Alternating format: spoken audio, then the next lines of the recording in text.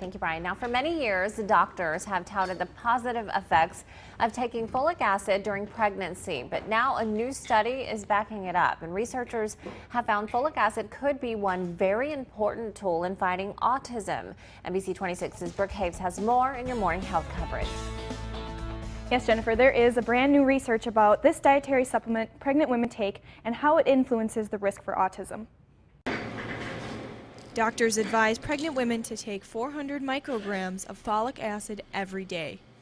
It's a proven method of reducing their baby's risk for serious birth defects like spina bifida.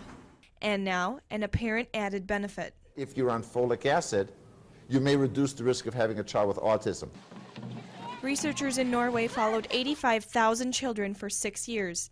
They found women who took folic acid supplements before they got pregnant and during their first trimester lowered their baby's risk of developing autism by 40%.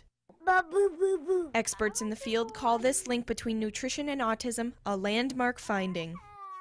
But it's just one piece of a complicated puzzle of genetic and environmental factors that influence autism development.